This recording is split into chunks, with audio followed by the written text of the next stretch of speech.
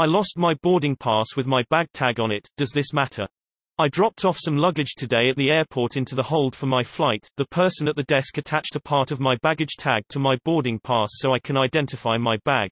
I lost my boarding pass while at the security area. I have it in electronic form so not to worry. Is there an issue with me losing that part of my bag tag with the number on it? What about if my bag gets on the wrong plane, does this identify it?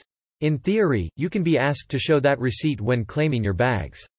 I faintly remember having to do this at JFK once. Also in theory, if your bag is not there, some of the numbers on that receipt will be useful for tracing it. However I have had lost delayed bags on numerous occasions and they've never asked for the tag or the numbers.